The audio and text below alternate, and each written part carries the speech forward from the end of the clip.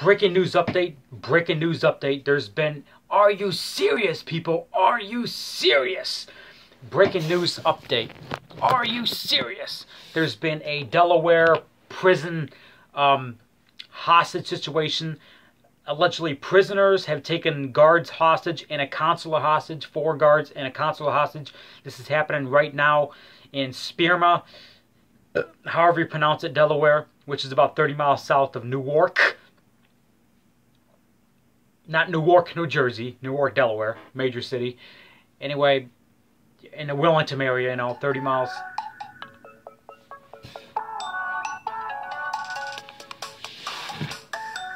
Somebody's calling me, just ignore it. But anyway, I'll call him back. I'm doing a video.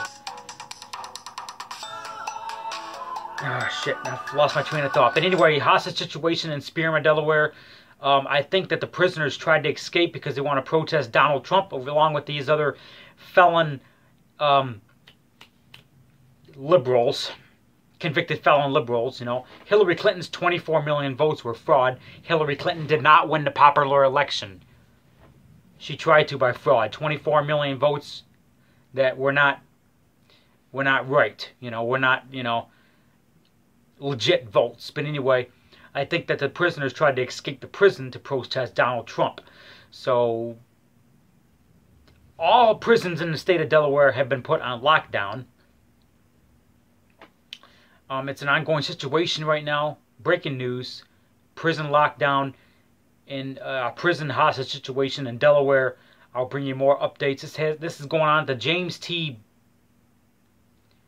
Can't remember the name of the prison. I think it's the, called the James Booker T. or T. Booker Correctional Facility.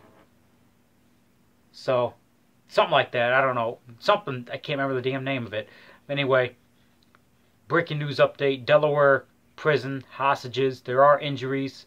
No word on fatalities. Hopefully, there is no fatalities. But anyway, uh, I hope the feds come in there and gas them and uh, get the situation taken care of.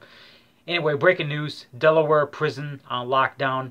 I'll bring you more updates on Twitter. Check me on Twitter, Rob293, or Raging underscore Robert192, or contact me on Facebook, Robert J. Kinnison. I'll give you more updates. Rob Kinnison on Facebook. I'll give you more updates. This is an ongoing situation. This is Raging Rob.